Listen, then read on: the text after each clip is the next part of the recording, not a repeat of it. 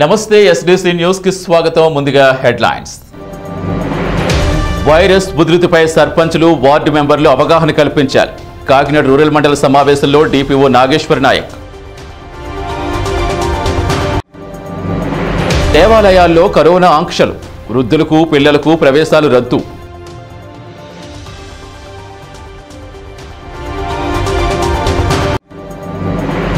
పదకొండవ పీఆర్సీ వెంటనే అమలు చేయాలి.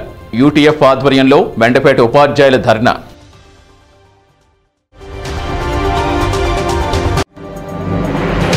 గీత కార్మికుల కుల సంఘాల అభివృద్ధి కృషి చేస్తా. మెండపేటలో జాతీయ గీత కార్మికుల కుల సంఘాల సమైక్య convener Eshwar Prasad. Corona virus second wave వ్యాప్తి చెందుతున్న తరుణంలో ప్రతి ఒక్కరికి అవగాహన ముఖ్యమని DPO SV Nageswara Naik CEO MV Satyanarayana పేర్కొన్నారు. కాకినాడ రూరల్ మండలం ఎండీఓ ఆఫీసులో సర్పంచులకు వార్డు మెంబర్లకు సచివాలయ సిబ్బందికి కోవిడ్ నైన్టీన్పై ఒకరోజు అవగాహన కార్యక్రమం ఎంపీడీఓ పాటంశెట్టి నారాయణమూర్తి అధ్యక్షతన సాగింది. సదస్సుకు డీపీఓ జడ్పీటీసీలు ముఖ్య అతిథులుగా పాల్గొని మాట్లాడారు.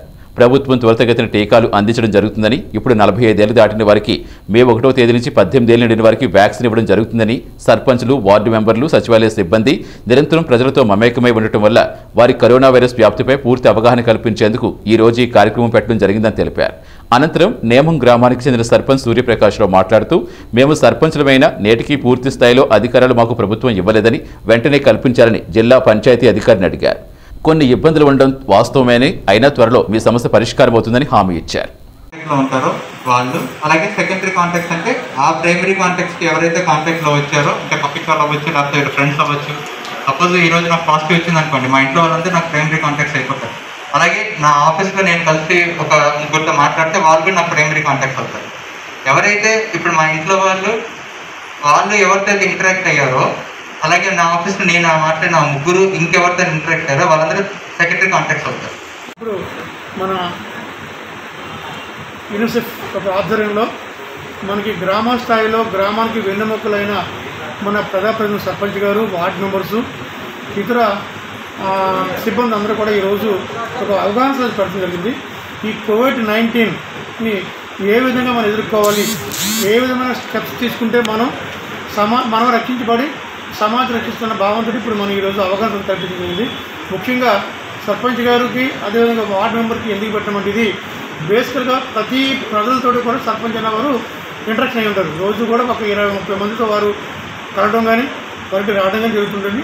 కాబట్టి ముందుగా వీరికి అవగాహన కావాలి. ఈ మాస్క్ ఏ విధంగా పెట్టుకోవాలి? మాస్క్ పెట్టుకోవడం వల్ల మనకు వచ్చే నష్ట నష్టం ఏంటి? అదేవిధంగా ఎదుటి వారికి పెట్టుకోవడం వల్ల వచ్చే లాభం ఏంటని చెప్పడం ఒకటి.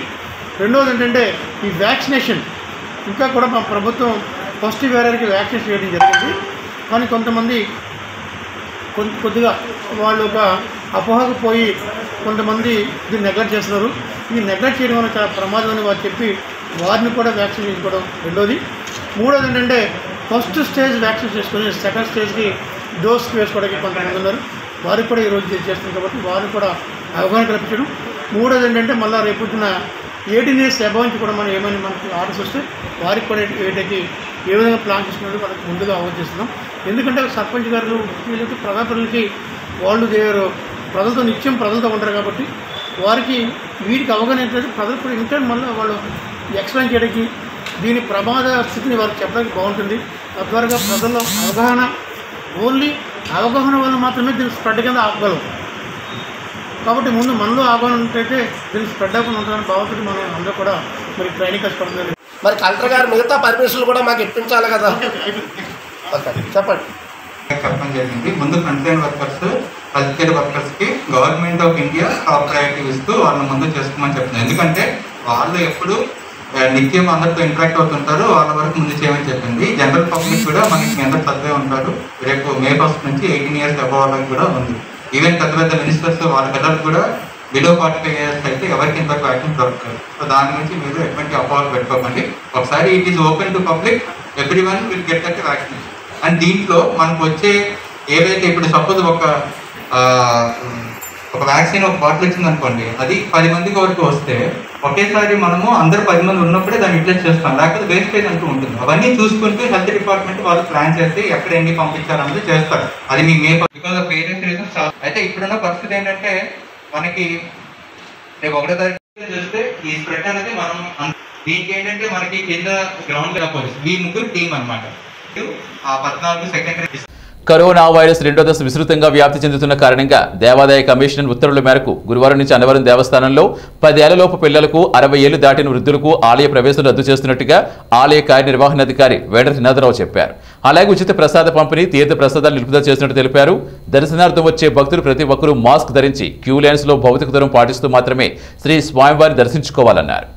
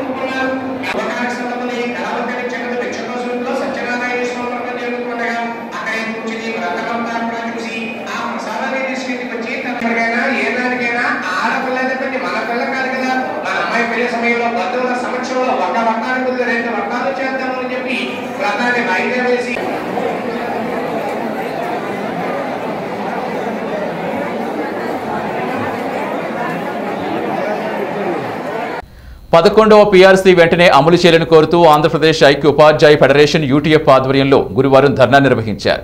మెండపేట మండల పరిషత్ ఆఫీస్ ముందు ధర్నా చేపట్టారు. యూటీఎఫ్ మండల పట్టణ శాఖల ఆధ్వర్యంలో నిరసన కార్యక్రమం చేపట్టారు. ఈ కార్యక్రమానికి మండల అధ్యక్షులు ఎం త్రినాథ్ అధ్యక్షత వహించగా రాష్ట్ర అడిట్ కమిటీ కన్వీనర్ డివి రాఘవులు రాష్ట్ర కౌన్సిలర్ కె గోపాలకృష్ణరెడ్డిలు పాల్గొన్నారు. యూటీఏ పట్టణ అధ్యక్షులు కె సూర్యప్రకాశ్రావు ప్రధాన కార్యదర్శి కె సత్యబాబు మండల ప్రధాన కార్యదర్శి తాడి శ్రీనివాస్ రిటైర్డ్ ఉపాధ్యాయులు జి నాగేశ్వరరావు సుమారు డెబ్బై మంది ఉపాధ్యాయులు పాల్గొన్నారు. ఈ సందర్భంగా నాయకులు మాట్లాడుతూ సీఎం హామీ మేరకు వెంటనే పీఆర్సీ కమిటీ రిపోర్ట్ విడుదల చేయాలని కోరారు. యాభై ఐదు శాతం పిట్మెంట్తో పీఆర్సీని ప్రకటించాలని కోరారు. రెండు వేల పద్దెనిమిది జూలై ఒకటో తేదీ నుంచి అమలు చేయాలని విజ్ఞప్తి చేశారు. డిఏలు సకాలంలో ఇవ్వాలని డిమాండ్ చేశారు. కమిటీలతో కాలయాపన వద్దు. కమిటీలతో కాలయాపన వద్దు. పదకొండవ పిఆర్సీని వెంటనే పదకొండవ పిఆర్సీని వెంటనే పదకొండవ పిఆర్సీని వెంటనే ముఖ్యమంత్రి హామీలను ముఖ్యమంత్రి హామీలను ముఖ్యమంత్రి హామీ ఆంధ్రప్రదేశ్ ఐక్య ఉపాధి జిందాబాద్ జిందాబాద్. జిందాబాద్ జిందాబాద్. జిందాబాద్ జిందాబాద్. మరి ఈ కమిటీని విధించి వేసి సుమారుగా మూడు సంవత్సరాలు పూర్తిగా వస్తుంది. మూడు సంవత్సరాలు వెంటనే చేయాలి. ముఖ్యమంత్రి గారి హామీలను ముఖ్యమంత్రి గారి హామీలను ముఖ్యమంత్రి గారి హామీలను జిందాబాద్ జిందాబాద్. జిందాబాద్. ఉపాధ్యాయ ఫెడరేషన్. వర్ధిల్లాలి ఆంధ్రప్రదేశ్ ఐక్య ఉపాధ్యాయ ఫెడరేషన్ జిందాబాద్ జిందాబాద్. జిందాబాద్ కల్లుగీత కార్మికుల కుల సంఘాల అభివృద్ధి కృషి చేస్తారని అఖిల భారత కల్లుగీత కులాల సమైక్య కన్వీనర్ కోళ్ళ ఈశ్వర ప్రసాద్ పేర్కొన్నారు. జిల్లా పర్యటనలో భాగంగా గురువారం మెండపేట విచ్చేశారు. ఈ సందర్భంగా ఇటీవల మెండపేట పట్టణ శెట్టి బలిజ సంఘం అధ్యక్షుడిగా ఎన్నికైన పెంకే గంగాధరుని కలిశారు. అనంతరం మహాలక్ష్మి నగర్లో ఏర్పాటు చేసిన సమావేశంలో ఈశ్వర్ ప్రసాద్ మాట్లాడుతూ దేశవ్యాప్తంగా కల్లుగీత కార్మికుల కుల సంఘాలను ఏకం చేసి త్వరలో సమావేశం నిర్వహిస్తామన్నారు. కరోనా ఉధృతి తగ్గాక జాతీయ స్థాయిలో ఢిల్లీలో త్వరలో సమావేశం నిర్వహిస్తామన్నారు. ఈ సమావేశంలో సంఘ నాయకులు పెంకె వెంకట్రావు కేతా వెంకటరమణ బండి దుర్గారావు మారేడువాక సర్పంచ్ మట్టపర్తి గోవింద్ తదితరులు పాల్గొన్నారు.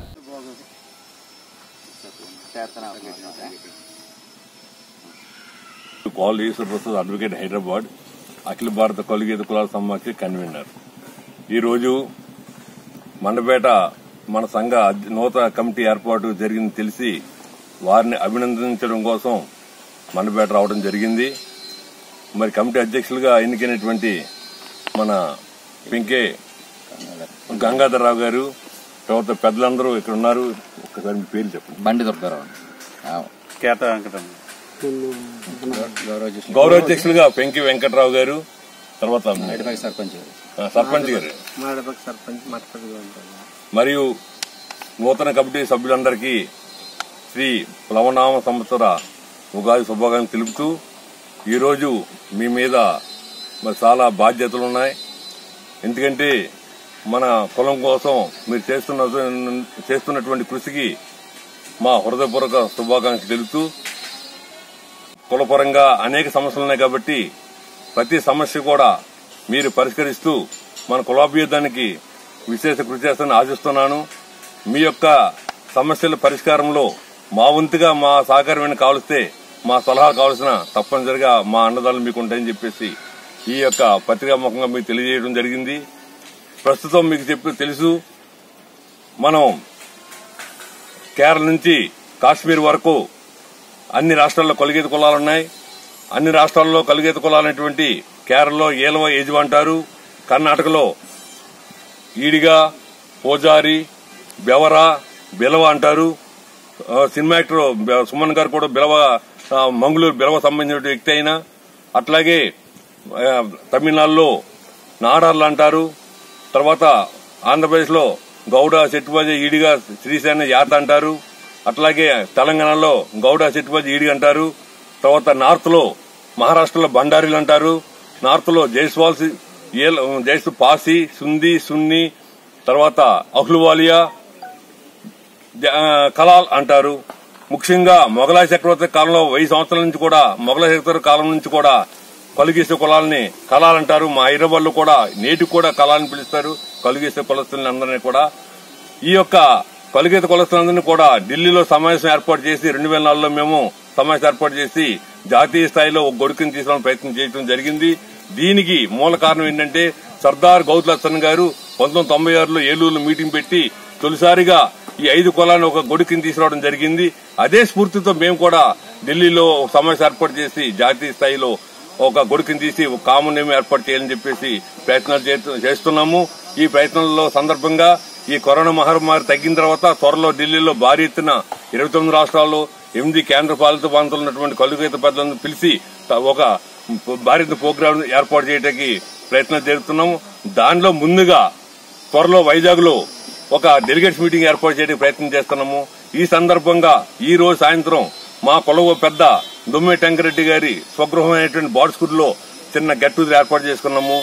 ఎందుకంటే బా- దొమ్మె టెంకరెడ్డి గారు మా కుల పెద్దే కాదు బర్మాలో ఉన్నటువంటి యావత్ తెలుగు జాతికి పెద్ద అని చెప్పేసి మీకు ఈ పత్రిక ముఖం తెలియజేస్తున్నాము. ఎందుకంటే వాళ్ళకున్న ఇక్కడ వేలాది ఎకరాలు మాకు ముఖ్యం కాదు కానీ బర్మాలో తెలుగు జాతికి వారు చేసిన సేవలు వాళ్ళ సోదరుడు కుమారుడైనటువంటి అయినటువంటి వెంకట సాంగ్ గారు బర్మ రంగూన్ ఎమ్మెల్సీగా తర్వాత అక్కడ మున్సిపాలిటీలో అత్యధిక మెజార్టీతో నెగ్గినటువంటి తొలి తెలుగు వ్యక్తి దొమ్మెటి వెంకట సాంగ్ గారు అట్లాగే ప్రపంచ తెలుగు జాతి చరిత్రలో తొలి తెలుగు అసోసియేషన్ అయినటువంటి బర్మాంధ్ర మాజాన సంఘానికి కూడా పంతొమ్మిది పదకొండు ఫిబ్రవరి పద్నాలుగో తారీఖున ఏర్పాటు చేసినటువంటి బర్మాంధ్ర మహాజన సంఘానికి తొలి అధ్యక్షుడిగా దొమ్మెటి వెంకట గారు నియమింపబడి జరిగింది.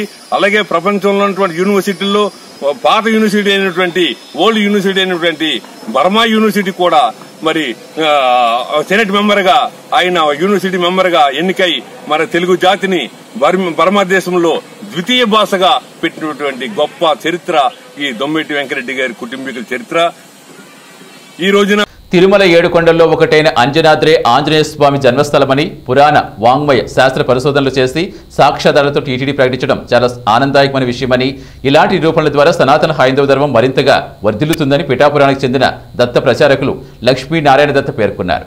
పిఠాపురంలో ఈ విషయంపై మీడియాతో మాట్లాడుతూ ఇలాంటి గొప్ప విషయం ప్రకటించిన టీటీడీకి టీటీడీ చైర్మన్ వైవి సుబ్బారెడ్డికి భక్తుల తరపున ధన్యవాదాలు తెలుపుకుంటున్నామన్నారు.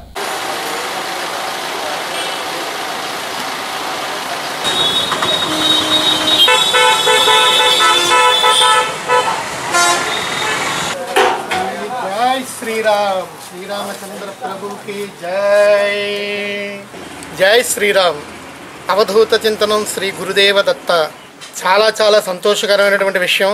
శ్రీరామనవమి పూట హనుమంతుడి యొక్క జన్మస్థలాన్ని ప్రకటించారు. ఏడుకొండల వెంకటేశ్వర స్వామి వారి యొక్క కొండల మీద ఉన్నటువంటి అంజనాద్రి దగ్గర హనుమంతుడు వారు జన్మించారు అని చెప్పి ఆంజనేయ స్వామి వారికి యొక్క జన్మస్థలాన్ని ప్రకటించడం చాలా చాలా గర్వించదగింది. ఎందుకంటే శ్రీరామచంద్ర ప్రభు జన్మస్థలం అయోధ్య శ్రీకృష్ణ ప్రభు జన్మస్థలం ద్వారక అదేవిధంగా వెంకటేశ్వర స్వామి వారి యొక్క జన్మస్థలం తిరుమల దత్తాత్రేయ స్వామి వారి యొక్క ప్రథమావతారం శ్రీపాద శ్రీవల్లభ స్వామి వారి యొక్క జన్మస్థలం పిఠాపురం అని చెప్పి ఏ విధంగా అయితే ఉన్నాయో ప్రకృతి దైవం అయినటువంటి శ్రీ అంజనీపుత్రుడు అయినటువంటి ఆంజనేయ స్వామి వారి యొక్క జన్మస్థలం తిరుమల కొండలో ఒక ప్రదేశం అని చెప్పి ప్రత్యేకంగా గుర్తించడం అనేది చాలా చాలా సంతోషించదగినది. అవతార సమాప్తి లేనటువంటి దేవుళ్ళు ఆంజనేయ స్వామి వారు. ఎన్ని యుగాలైనా వారి యొక్క అవతారం ఆ విధంగానే కొనసాగుతూనే ఉంటుంది. ఒక ఆంజనేయ స్వామి వారి కలియుగంలోనే కాదండి సృష్టి ఉన్నంత వరకు కూడా స్వామివారి యొక్క అవతారం కొనసాగుతూనే ఉంటుంది. అలాంటి హనుమంతుడి యొక్క జన్మస్థలాన్ని ఈ తిరుమలలో అంజనాద్రిని ప్రకటించడం తిరుమల తిరుపతి దేవస్థానం వారికి అదేవిధంగా నిత్యం దేవాలయ అభివృద్ధికి కృషి చేస్తున్నటువంటి తిరుమల తిరుపతి దేవస్థానం చైర్మన్ గారు వైవి సుబ్బారెడ్డి గారి యొక్క హాయంలో ఈ ఆంజనేయ స్వామి వారి యొక్క జన్మస్థలాన్ని ప్రకటించడం అనేది ఇంకా చాలా చాలా సంతోషకరమైనది. స్వామివారు సర్వాంతర్యామి హనుమంతుడు ఎక్కడైతే రామనామం ఉంటుందో అక్కడ హనుమంతుడు ఉంటారు.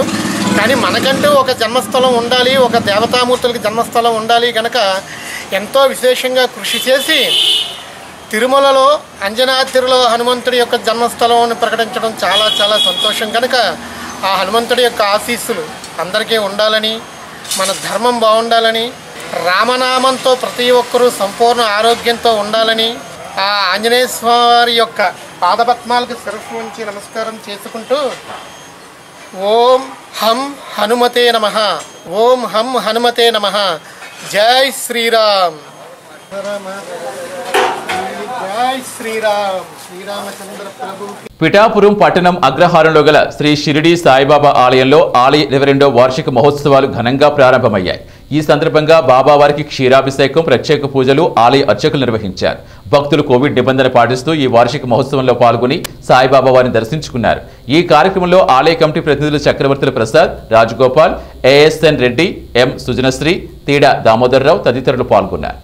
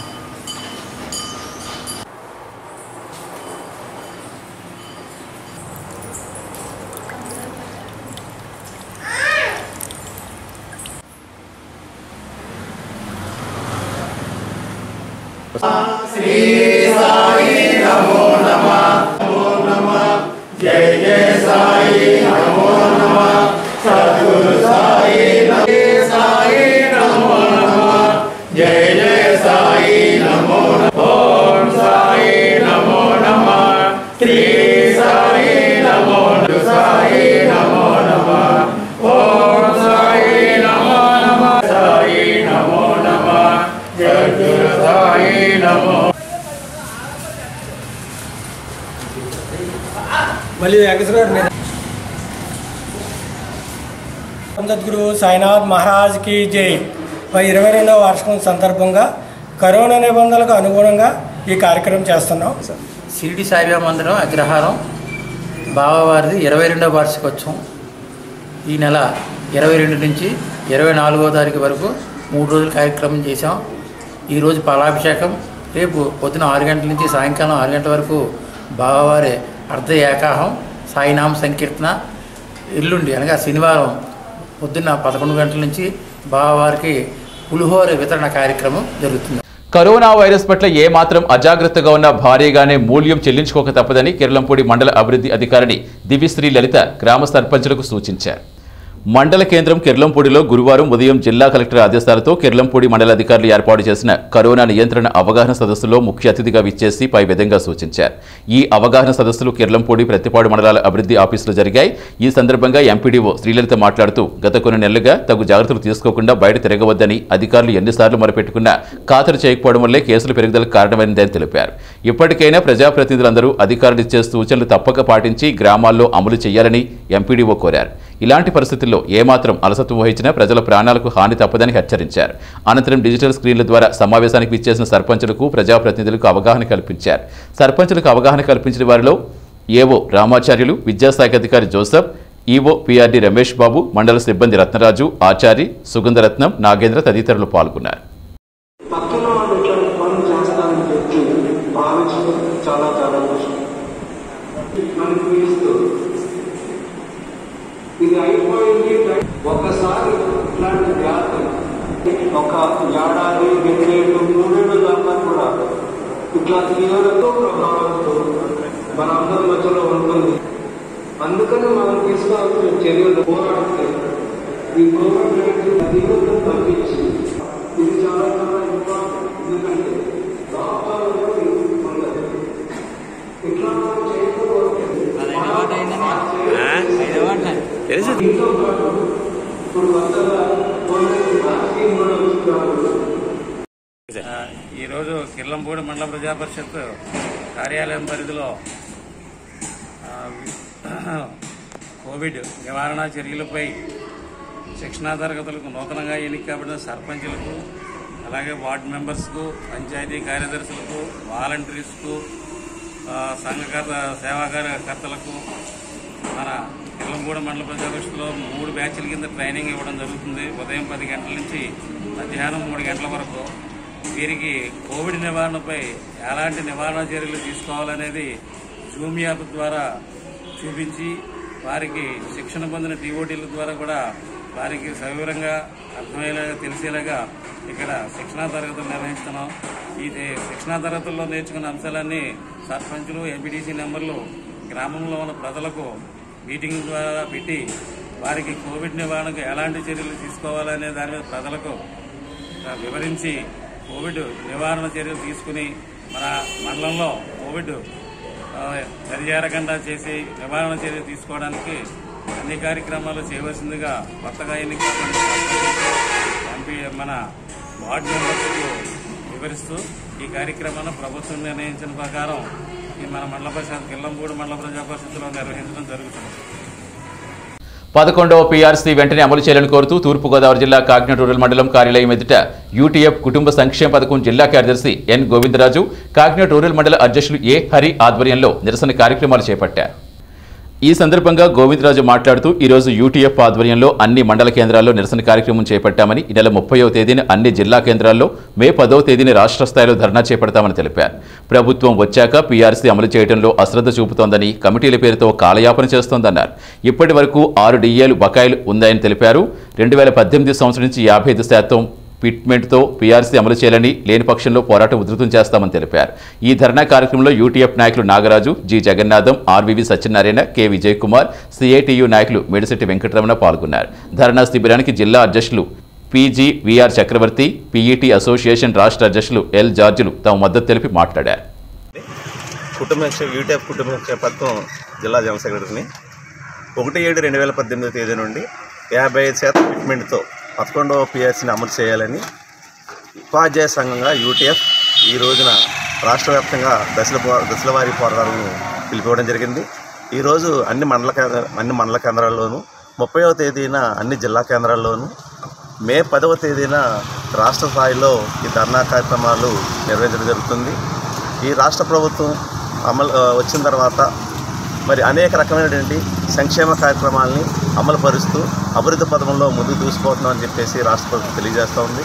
మరి రాష్ట్ర ప్రభుత్వంలో భాగమైనటువంటి ఉపాధ్యాయులు ఉద్యోగస్తులకి ఇవ్వాల్సిన పిఆర్సీ విషయంలో మరి కాలయాపన జరుగుతూ ఉంది. ఇవ్వాల్సినటువంటి ఆరు డిఏల్ని మరి బకాయిలు ఉన్నాయి. డిఏలు బకాయిలు ఒక డిఏ ఇస్తూ మూడు దఫాలుగా ఇవ్వడం అనేది జరిగింది. గత ప్రభుత్వంలో బీఆర్సీ కమిటీ వేయాలని చెప్పేసి ఉద్యోగ ఉపాధ్యాయ సంఘాలందరూ డిమాండ్ చేయగా రెండు వేల పద్దెనిమిది మే మే నెలలో అశుతోష్ మిశ్రా గారి నాయకత్వంలో ఒక పిఆర్సీ కమిటీని వేయడం జరిగింది.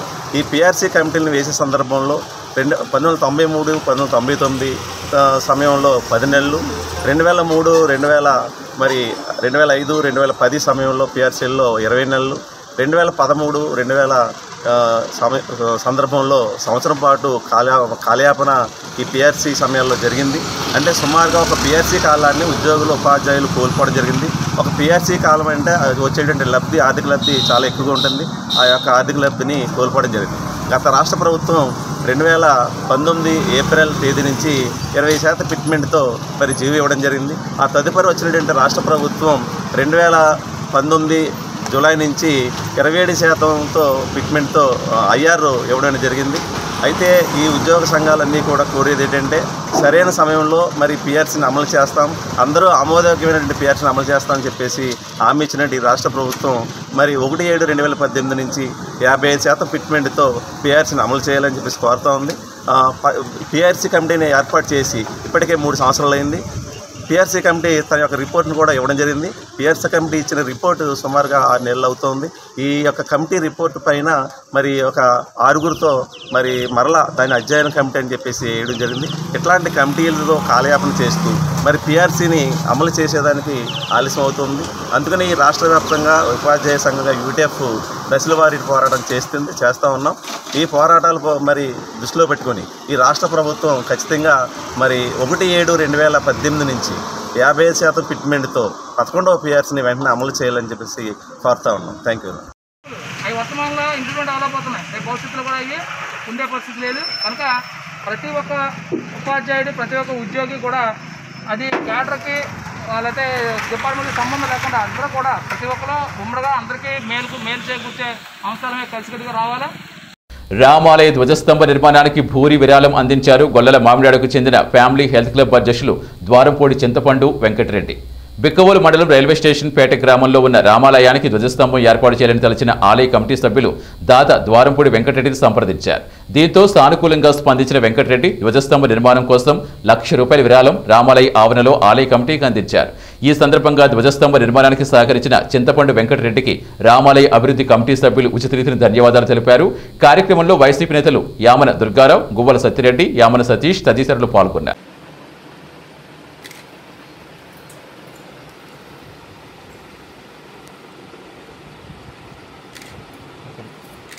ఓకే సార్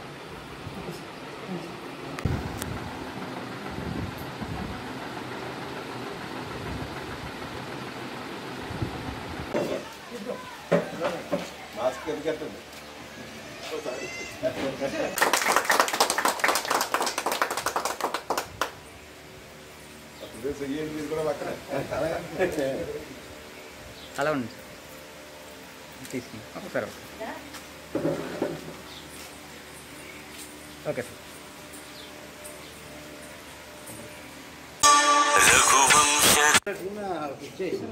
మనకి ఏది వేరే సంబంధం లేదు మనకి దిప్పేసేలాగా లాగండి ఏమంటే ఇంకా దారిలో ఖర్చులు కానీ అంత పర్మిట్ కూడా పర్మిట్తో సహా అండి మనం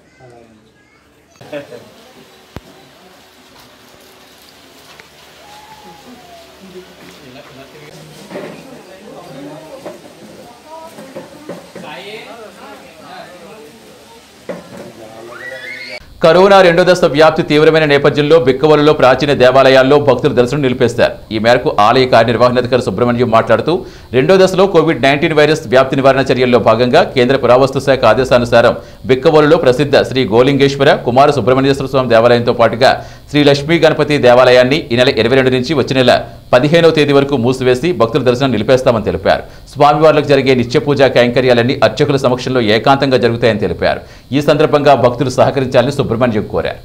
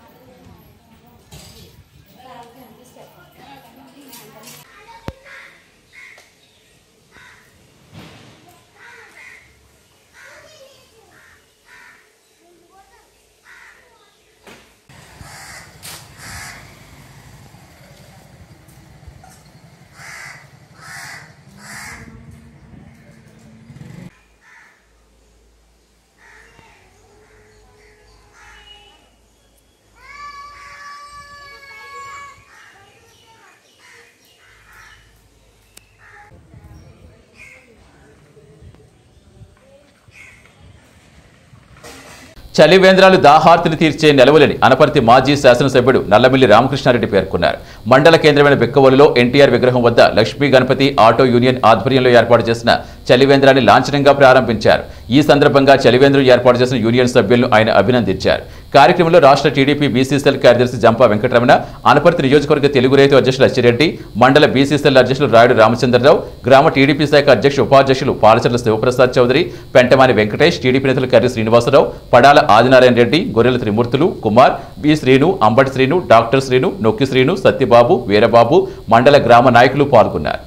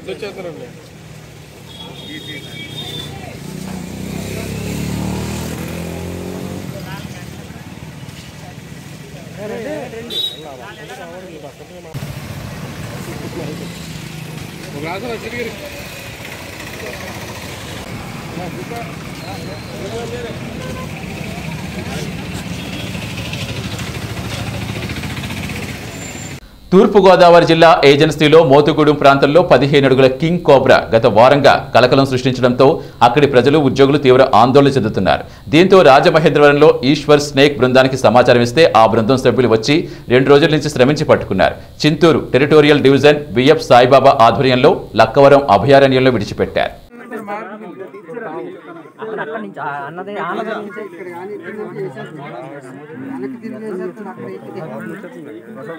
వీడియో కాల్ రాదే? బాబా బా చూడు.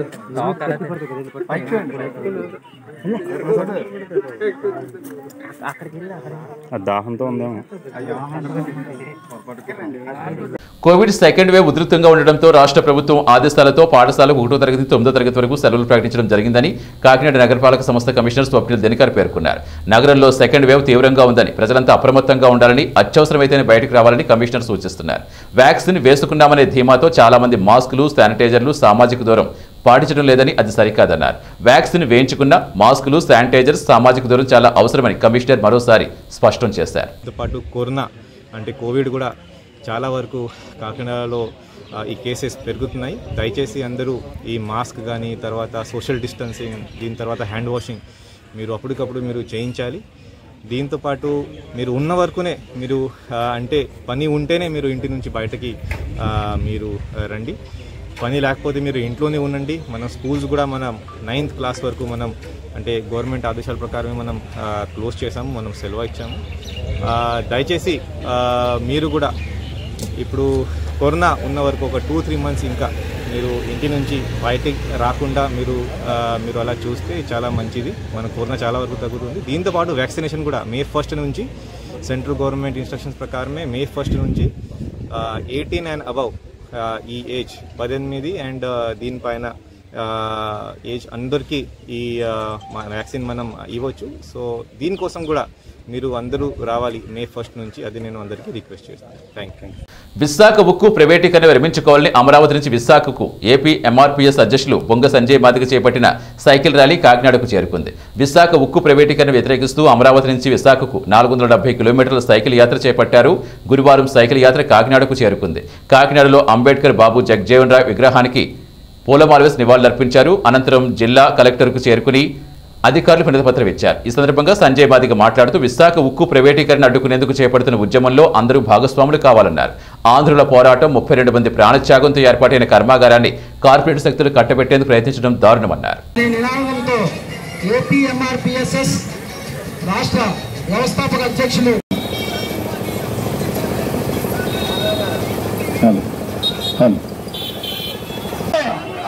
విశాఖ ఉక్కు బొమ్మ సంజయ్ నాయకత్వం. గలమెత్తుతూ సంజయన నాయకత్వంలో విశాఖ వరకు సైకిల్ యాత్ర కొనసాగుతుంది. దానిలో భాగంగా ఈ ప్రభుత్వ నిరంకుశ వైఖరి. విశాఖ ఉక్కుపై కేంద్ర ప్రభుత్వ నిరంకుశ వైఖరి. విశాఖ ఇప్పుడు ఈ సందర్భాన్ని ఉద్దేశించి శేషబాబు గారిని మాట్లాడు ఇంకా థ్యాంక్స్ తెలియజేసుకుంటున్నాను నేను. విశాఖ ఉక్కు ప్రైవేట్ వెళ్ళాలి. చాలా దూరం మీరు వెళ్ళాలి సైకిల్ మీద వెళ్ళాలి. క్షమించాలని కూడా కోరుతున్నాను నాకు కేవలం పావుగంట ముందే. ఇక్కడికి విచ్చేసిన ఎంఆర్పిఎస్ఎస్ కార్యకర్తలకు అలాగే నాయకులకు. విషయం మాకు ముందుగా తెలియలేదు.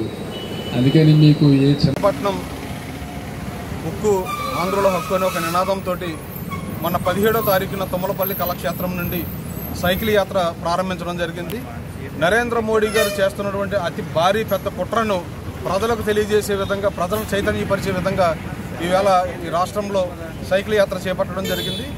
మొదటిగా విశాఖ ఉక్కు విశాఖపట్నంలో ఉన్నటువంటి విశాఖ స్టీల్ ప్లాంట్ని కాపాడు కాపాడుకోవడానికి ఆ రోజున ముప్పై రెండు మంది ప్రాణత్యాగాలతోటి నిలుపుకున్నటువంటి విశాఖ ఉక్కును కనీసం ముప్పై రెండు మంది ప్రాణత్యాగాలను కూడా లెక్క చేయకుండా అదేవిధంగా ఆంధ్రులకు ఆత్మగౌరవమైనటువంటి విశాఖ ఉక్కును ఈ ప్రైవేటీకరణ పోస్కో కంపెనీకి అమ్మేయడాన్ని నిరసిస్తూ అదేవిధంగా మరి నరేంద్ర మోడీ గారు తిరుపతి వెంకన్న సాక్షిగా ఈ ఆంధ్రప్రదేశ్కు ప్రత్యేక హోదా ఇస్తానని చెప్పేసి ప్రజలను మోసం చేస్తూ నిరంతరం ఆయన గద్దెలెక్కడం కోసం ప్రగల్భాలు పలికినటువంటి నరేంద్ర మోడీ గారి తీరును నిరసిస్తూ ఈవేళ ప్రజలను చైతన్యవంతం చేయడానికి తుమ్మలపల్లి విజయవాడ తుమ్మలపల్లి కళాక్షేత్రం నుంచి విశాఖపట్నం స్టీల్ ప్లాంట్ వరకు ఈ చైతన్య యాత్ర కొనసాగుతూ ఉంది.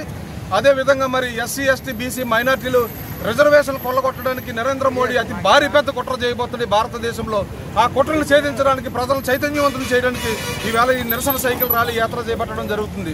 ఈ ప్రైవేటీకరణ చట్టాలను తీసుకొచ్చి ప్రభుత్వ రంగాలను ప్రైవేటీకరణ చట్టాలను చేస్తే ప్రైవేటు పరం చేస్తే ఖచ్చితంగా ఎస్సీ ఎస్టీ బీసీ మైనార్టీ నా పిల్లలందరికీ భవిష్యత్తు కోల్పోతుందని ఒక దృఢ సంకల్పంతో ఆ ఈ నరేంద్ర మోడీ గారు ఒక భారీ కుట్రను ప్రజలకు తెలియజేయాలనే ఉద్దేశంతో ఈ సైకిల్ యాత్ర చేపట్టడం జరిగింది.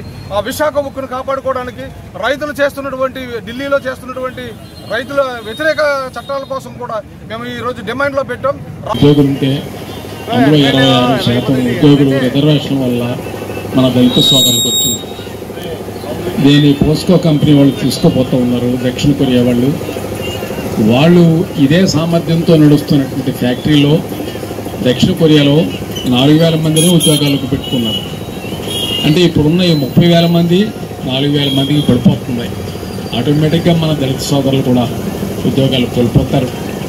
ఈరోజు భారతదేశం యొక్క ప్రత్యేక పరిస్థితి అంటే దళితులకే కాదు బీసీలకి కూడా రిజర్వేషన్లు ఉన్నాయి.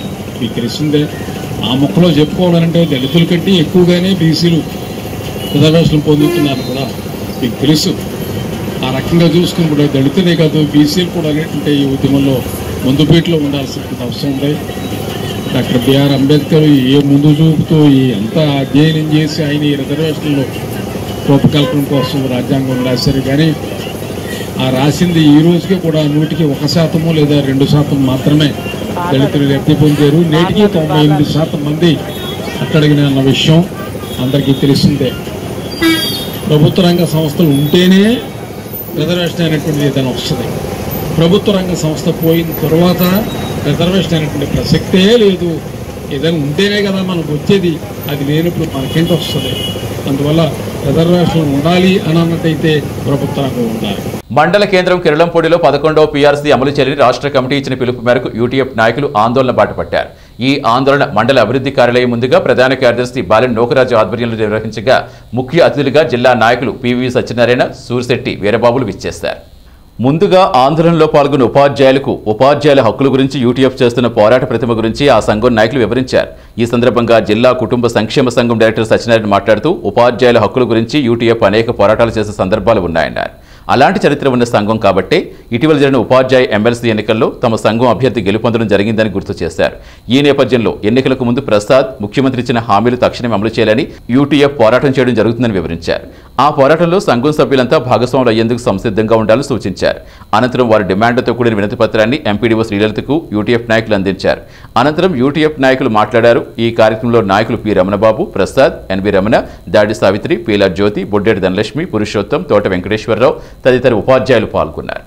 ఆంధ్రప్రదేశ్ ఐక్య ఉపాధ్యాయ ఫెడరేషన్ రాష్ట్ర సంఘం మేరకు పదకొండవ పిఆర్సీని అంటే ఉద్యోగ ఉపాధ్యాయులందరూ కూడా అమలు చేసేటువంటి పదకొండవ పిఆర్సీని తక్షణమే అమలు చేయాలనేటువంటి డిమాండ్పై మరి రాష్ట్రంలో ఉన్నటువంటి అన్ని మండల కేంద్రాల వద్ద అంటే ఎండిఓ ఆఫీస్ వద్ద ఈరోజు ధర్నా కార్యక్రమం నిర్వహించడం జరిగింది.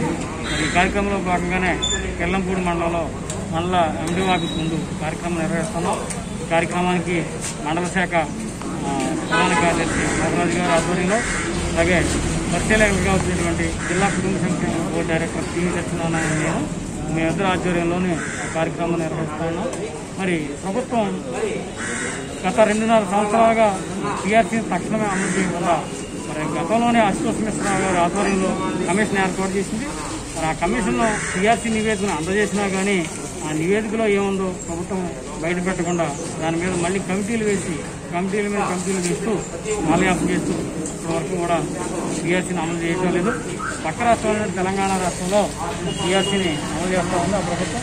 అదేవిధంగా మన ప్రభుత్వం కూడా తక్షణమే స్పందించి ఈ డిమాండ్ ఏదైతే ఉందో పదకొండవ పిఆర్సీ డిమాండ్ ఏదైతే ఉందో ఆ డిమాండ్ను తక్షణమే అమలు చేయాలని పిఆర్సీ నివేదికలో ఏముందో ఆ నివేదికను బహిర్గతపరచాలని మన ఆంధ్రప్రదేశ్ ఐక్యోపాధ్యాయ ఫెడరేషన్ తరఫున మేమంతా డిమాండ్ చేస్తూ ఉన్నాం. అంతేకాదు ఉపాధ్యాయులు ఉద్యోగులు చాలా రోజులుగా ఆర్థికంగా చాలా నష్టపోతా ఉన్నారు. చాలా కాలం నుంచి మరి పిఆర్సీ అమలు కాకపోవడం వల్ల ఆర్థికంగా చాలా నష్టం పరిస్థితి ఉంది కాబట్టి మరి మా సంఘం ఏదైతే ఉందో యూజీఎఫ్ రాష్ట్ర సంఘం ఈరోజు చేపట్టింది. దశల వారి పోరాటంలో భాగంగా ఈరోజు మండల కేంద్రాల వరకు చేస్తా ఉన్నాం. తర్వాత జిల్లా కేంద్రాల్లోనూ అలాగే రాష్ట్ర కేంద్రాల్లో కూడా ఈ ధర్నా కార్యక్రమం నిర్వహిస్తాం. ఖచ్చితంగా మరి ప్రభుత్వం దీని స్పందించి టీఆర్సీని అమలు చేయాలని కోరుతున్నాం థ్యాంక్ సార్. Thank you. పేరు బాలినోకరాజు యూటీఎఫ్ జనరల్ సెక్రటరీ కిర్లంపూడి మండల శాఖ. మరి ఈ రోజున పదకొండో పీఆర్సీని యాభై ఐదు శాతం ఫిట్మెంట్ తోటి తక్షణం అమలు చేయాలా? మరి అదేవిధంగా ఉద్యోగ ఉపాధ్యాయులు అందరూ కూడా నిత్యావసర ధరలు పెరిగిపోయినప్పటికీ కూడా మరి వారికి అవసరమైనటువంటి డిఏ కానీ లేకపోతే పీఆర్సీని కానీ అమలు చేయకుండా తొక్కుపెడుతూ కమిటీలతో కాలయాపన చేస్తా ఉంది ఈ రోజున రాష్ట్ర ప్రభుత్వం. మరి తక్షణం రాష్ట్ర ప్రభుత్వం కమిటీలన్నింటినీ కూడా రద్దు చేసి మరి బేషరతుగా ఆ, అశురోత్ మిశ్రా గారు ఇచ్చినటువంటి రిపోర్ట్ను బయటపెట్టి తక్షణం యాభై ఐదు శాతం ఫిట్మెంట్ తోటి పీఆర్సీని బేషరతుగా అమలు చేయాలని మరి అదేవిధంగా గౌరవ ముఖ్యమంత్రి గారు తన పాదయాత్రలో చెప్పినటువంటి సిపిఎస్ విధానాన్ని తక్షణం రద్దు చేయాలని చెప్పేసి యూటీఎఫ్ కిర్లంపూడి మండల పక్షాన మేము కోరుతా ఉన్నాం. ఎస్డీసీ న్యూస్ ముగించే ముందు హెడ్లైన్స్ మరోసారి. వైరస్ ఉధృతిపై సర్పంచులు వార్డు మెంబర్లు అవగాహన కల్పించాలి. కాకినాడ రూరల్ మండల సమావేశంలో డీపీఓ నాగేశ్వర నాయక్. దేవాలయాల్లో కరోనా ఆంక్షలు. వృద్ధులకు పిల్లలకు ప్రవేశాలు రద్దు.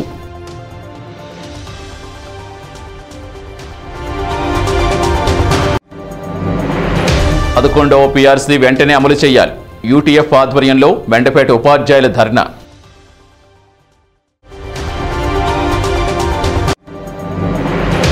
గీత కార్మికుల కుల సంఘాల అభివృద్ధి కృషి చేస్తా మెండపేటలో జాతీయ గీత కార్మికుల కుల సంఘాల సమైక్య కన్వీనర్ ఈశ్వర్ ప్రసాద్. ఇవి ఎస్డీసీ న్యూస్ అప్డేట్స్. తిరిగి ప్రసారమయ్యే ఎస్డీసీ న్యూస్లో మళ్ళీ కలుద్దాం. అంతవరకు సెలవు. నమస్తే.